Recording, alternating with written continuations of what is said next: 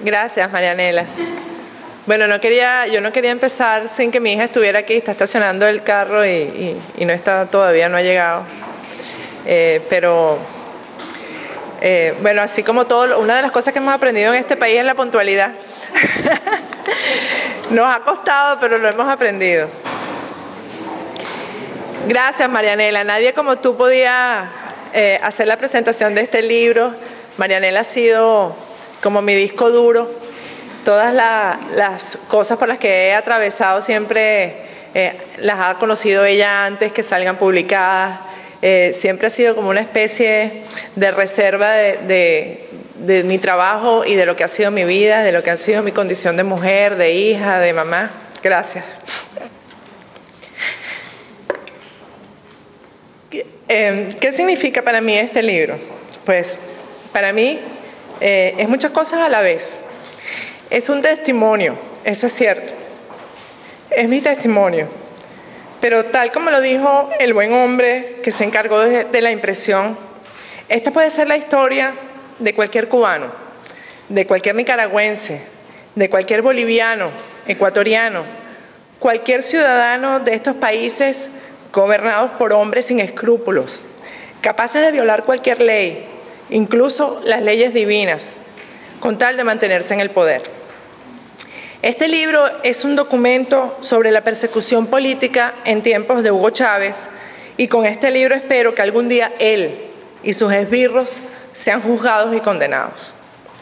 Ha sido muy duro el camino hasta llegar al día de hoy en que puedo entregar por escrito este testimonio sin que la palabra odio perturbe los hechos y tergiverse la verdad. Lo que aquí está escrito, cada uno de los hechos dolorosos que aquí están plasmados, ha ocurrido en este siglo, en esta época, y lo más grave es que sigue ocurriendo. Este libro estaba en mi mente desde el momento en que escuché por primera vez que sería acusada de asesina. Me dilaté en escribirlo, eso sí, porque esperaba terminarlo con el final feliz del regreso a la patria. Pero hasta hoy, seis años después, esto no ha sido posible y se han ido sumando pérdidas, tristezas, dolores, también ganancias, alegrías, pero sobre todo se ha reafirmado dentro de mí la convicción de que luchando por la democracia y por la libertad de Venezuela he estado del lado de los buenos.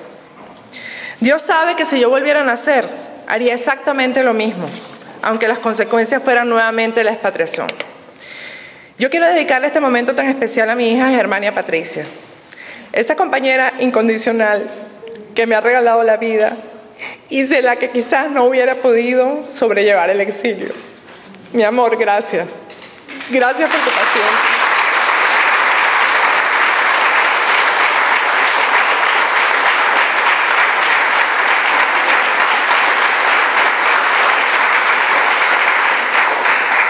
A mi esposo, Nixon Moreno, también perseguido y exiliado, siempre a mi lado, aunque la injusticia nos mantenga separados.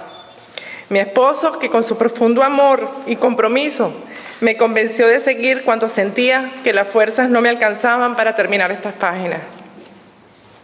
A mis padres, artífices de mi carácter libre e indoblegable. Pero sobre todo, yo quiero hoy tener aquí presentes a todos los presos y perseguidos políticos que sufren la injusticia impuesta por el gobierno probioso de Hugo Chávez.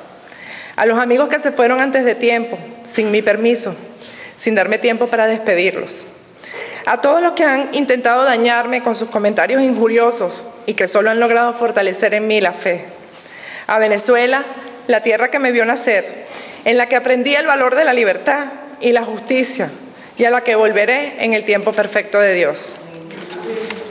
Este libro definitivamente no es solo mío.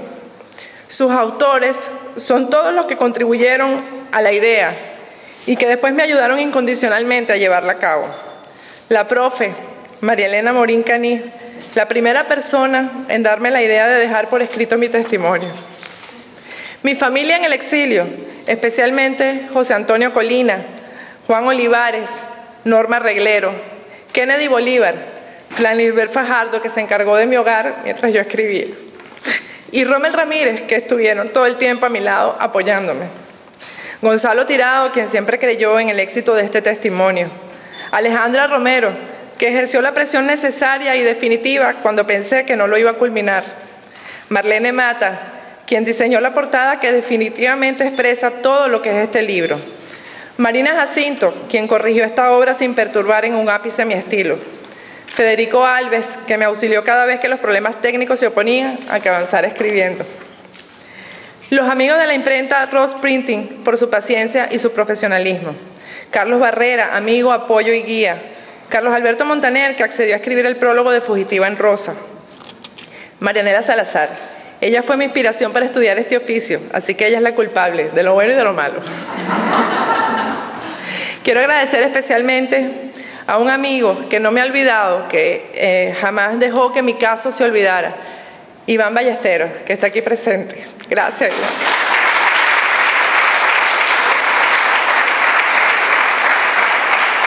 Hay mucha gente, hay mucha gente a la que le debo haber escrito este libro en libertad y no tras las rejas.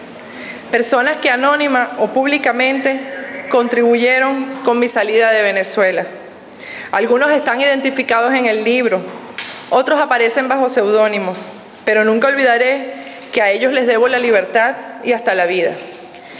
Quiero agradecer a mis colegas periodistas en Venezuela, en Estados Unidos, en Perú y en el mundo entero que no permitieron que mi caso quedara en el olvido. A la comunidad cubana que ha acogido a los venezolanos con afecto y solidaridad.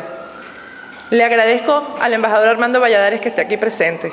Cuando yo leí su libro, Contra toda esperanza, Apenas tenía, yo creo que no había llegado a los 15 años.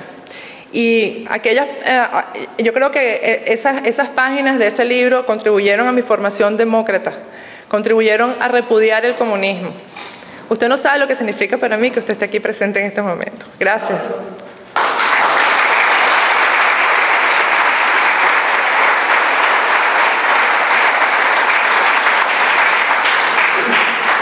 A Estados Unidos y cada país del mundo que ha recibido un perseguido venezolano dándole la protección de asilo, le doy las gracias. A los lectores de mi trabajo periodístico, que han seguido con avidez y lealtad cada una de mis investigaciones.